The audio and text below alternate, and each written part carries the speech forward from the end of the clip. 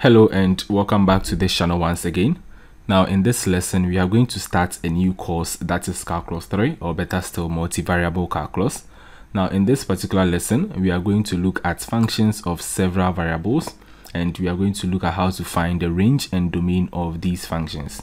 Now if this is your first time on this channel, do well to subscribe to the channel, like the video and share the video to all your friends. Now let's get into today's lesson.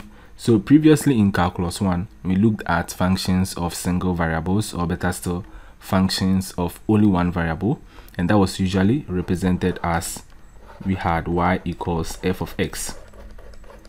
Now the function here y is said to be a function of only one variable and the variable in question is the variable x. So this is a function, a function of only only one variable or a function of a single variable. Single variable.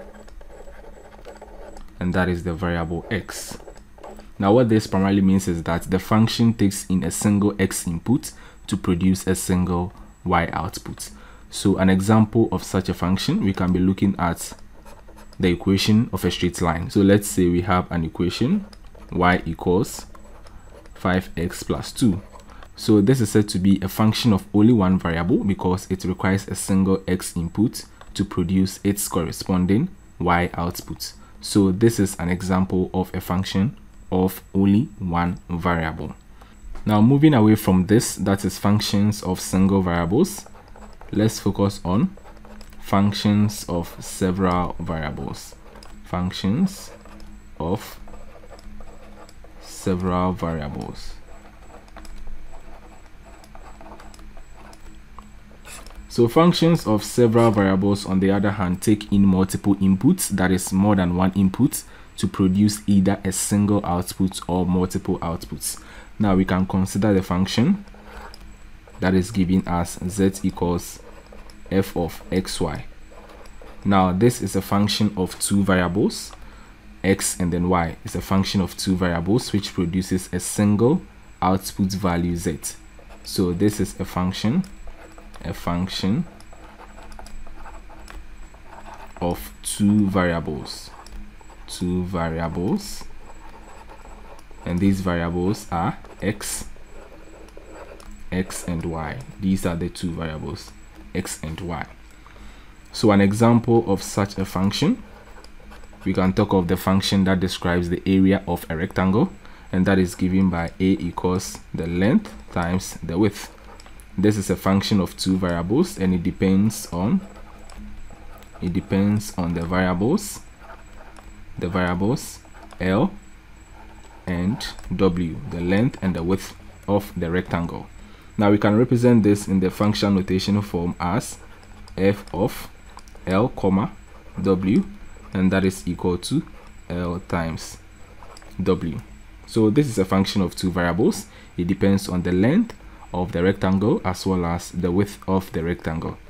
So for functions of n variables, let's say functions of, in this case, two variables, z equals f of x comma y, z is said to be the dependent variable. Dependent variable. And then x and then y are said to be the independent independent variables. These are the independent variables. What this primarily means is that z depends on the values of x and then y so x and y are said to be the input values and then z is said to be the output value. Now we can as well have a function that looks like this. That is w equals f of x comma y comma z. And this is said to be a function a function of three variables. A function of three variables it depends on the variables x y and z an example of functions of three variables, we can have the function that describes the volume of a rectangular box. So the volume of a rectangular box is given by the length times the width times the height. So we have this in the functional notation form as f of l comma w comma h and that is equal to the length times the width times the height. So this is a function of three variables. So usually you'll be asked to find either the domain or the range of a given function. Now what you need to understand here is that the independent variables of any function may be restricted to lie in some set D and this set is called the domain of the function. So let's look at what the domain actually means. So the domain of a function is nothing but the set of ordered input values that produces a unique real value for the dependent variable. So it is the set of ordered input values that produces a unique real value for the dependent variable or we can have the domain to be the set of ordered input values that makes the function defined the set of ordered input values that makes the function defined. And as well we have the range to be the set of all output values of the function. So the domain focuses on the input values that's going to make the function defined that's going to make the function meaningful. And then the range is focusing on the output values the set of output values of the function. So here we have an example, that is example 1. We are asked to find the domain and range of the function. F comma y equals x squared plus y squared. So let's try this example together. So we want to find the domain and range of this function. So first, let's focus on the domain. How do we find the domain of this function? So we have the function f of xy and that is equal to x squared plus y squared. Now this is a polynomial function of two variables x and y. This is a polynomial function of two variables and looking at this function if you want to find the domain that is the set of ordered input values that makes the function defined it means that we need to focus on the input values and see for what input values are going to make this function defined now you realize that there is no restriction on the x or the y value. Now, what this primarily means is that whatever value you are going to put in this function in place of x and y is going to make the function defined. Whichever values you, you place in this function in place of x and y, you are going to obtain a unique real value at the end. Therefore, we say that the domain of this function, the domain of this function is the set of all ordered pairs x comma y such that x comma y is the set of all real numbers in the two-dimensional plane. The set of all real numbers in the two-dimensional plane.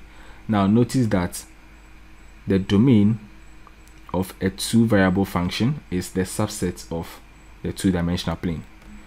Since there were no restrictions on x and y, it means that the domain is actually the set of all ordered pairs in the two-dimensional plane. So this is how we write the domain of a function. So the set of all ordered pairs x, y such that that is the vertical bar. You can well replace that with two dots like this.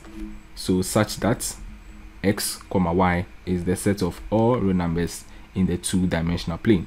So we have a number of functions here. Let's try to find the domain and range of these functions. So we are going to start off with example 2. So for example 2, we have the function f of xy, f of xy, and that is equal to ln of y minus 2x. So this is a natural logarithmic function. Let's try to find the domain, first of all, of this function.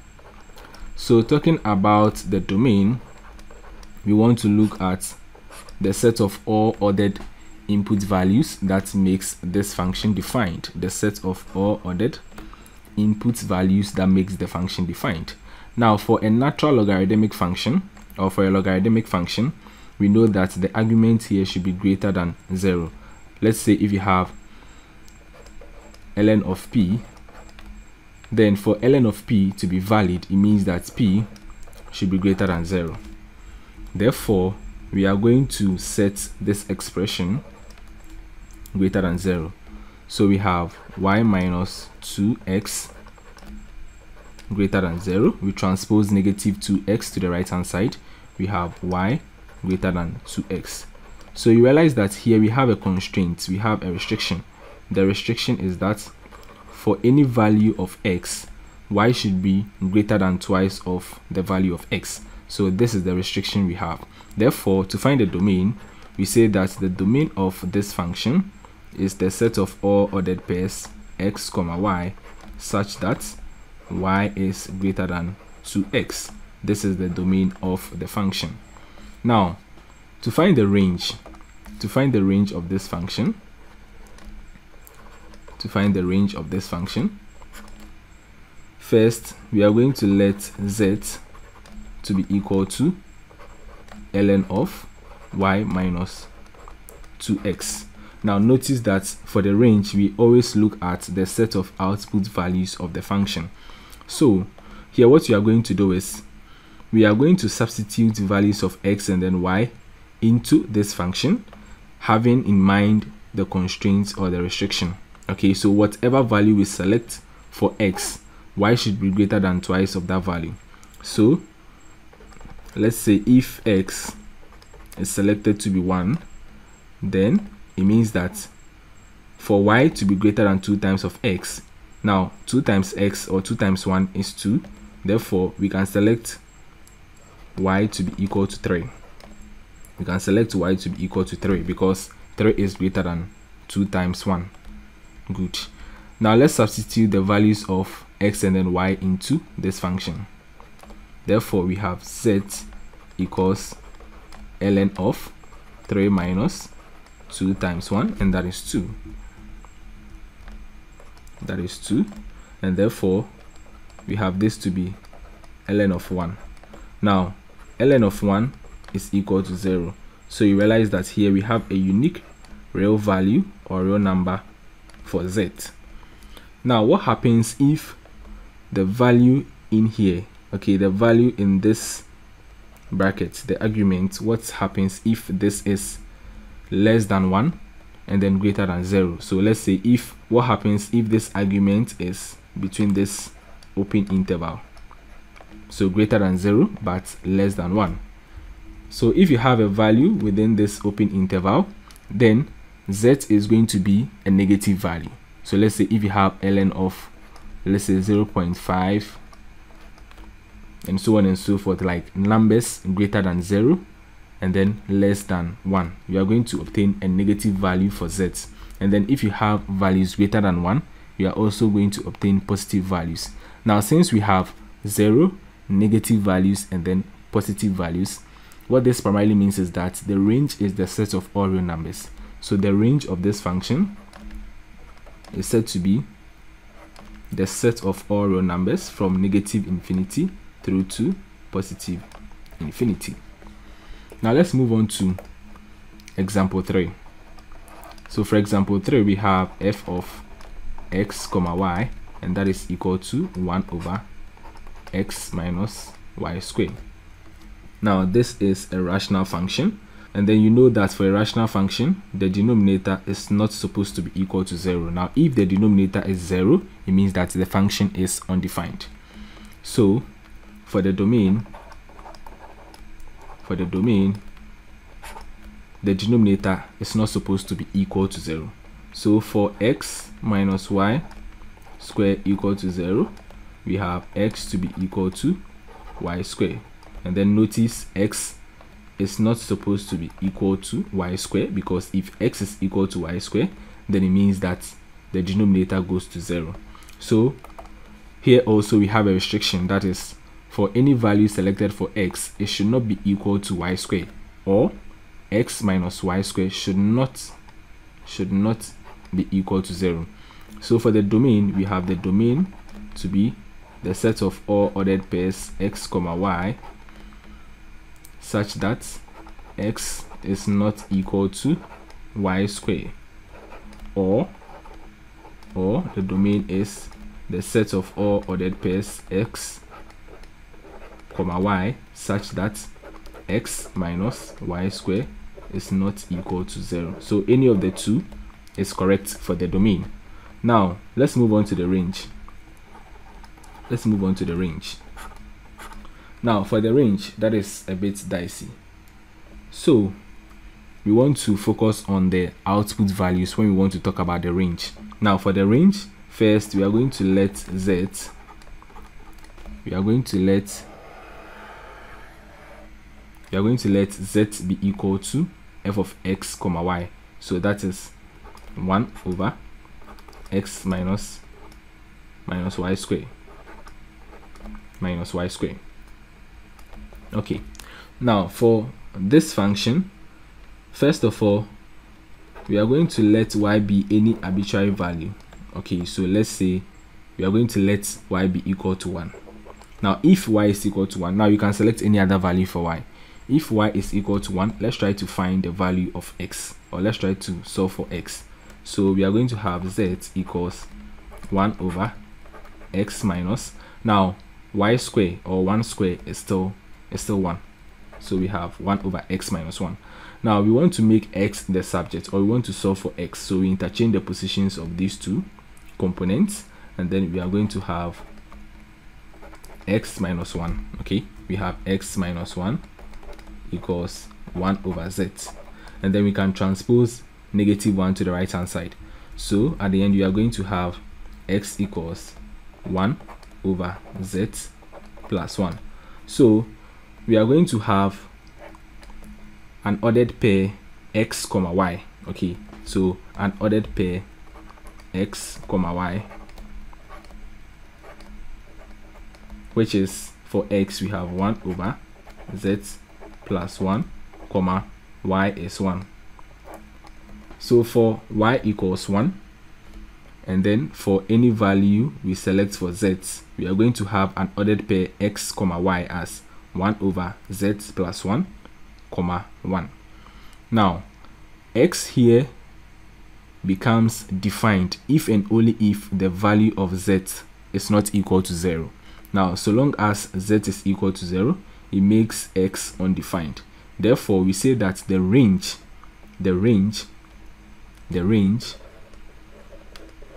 the range is said to be the set of all real numbers except z equals 0 the range is the set of all real numbers except z equals 0 so we can represent this as now focusing on the number line focusing on the real number line we have this to be negative infinity and then this to be positive infinity and then we have 0 in here. Now because 0 is not included in the set we are going to have an open circle.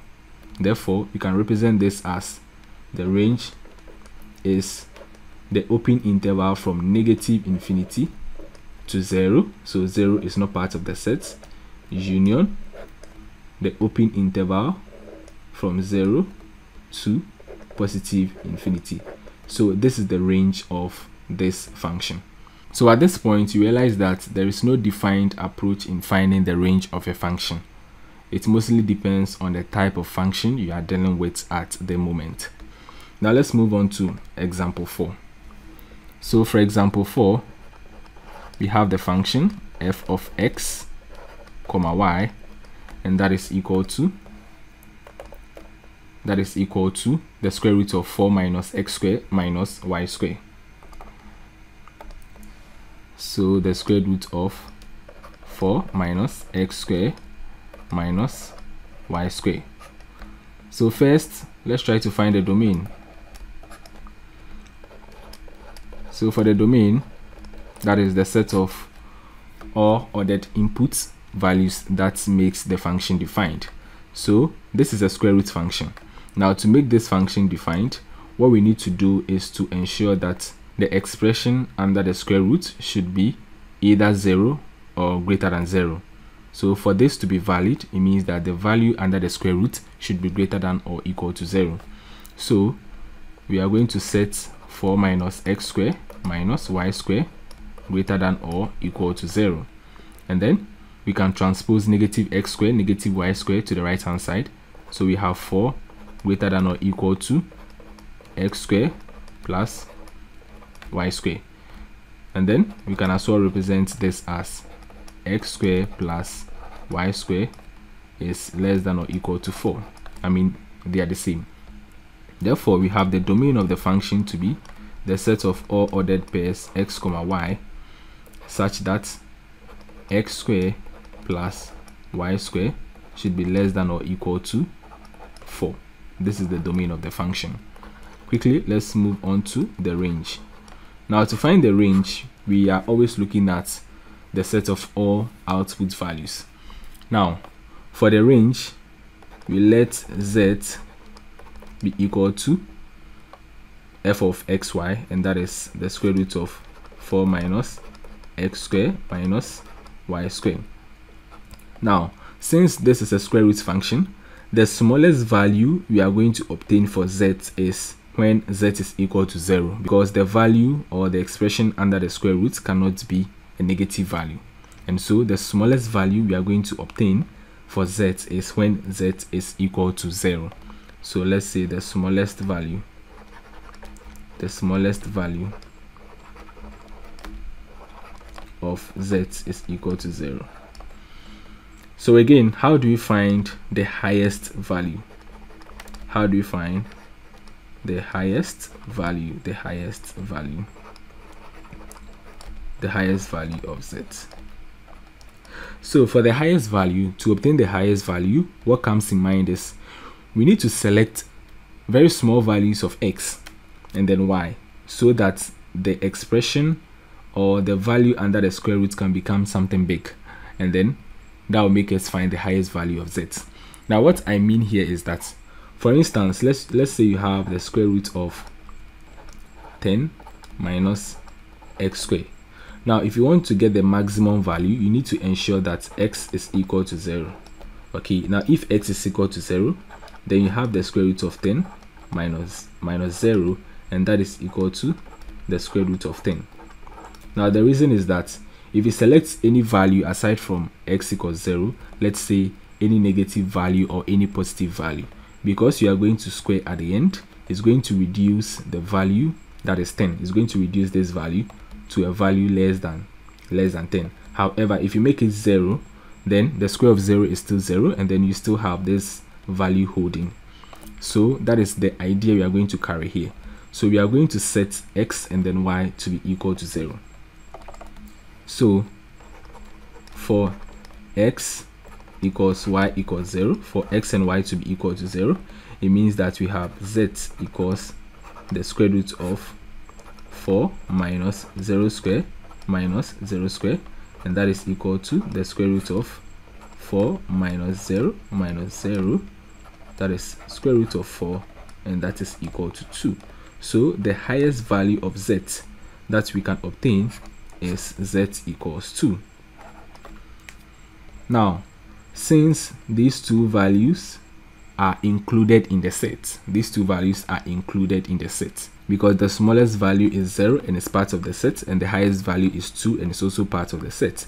Therefore, the range of this function is the closed interval from 0 to 2 so that's it for today's video thanks for watching and see you in my next video. Bye bye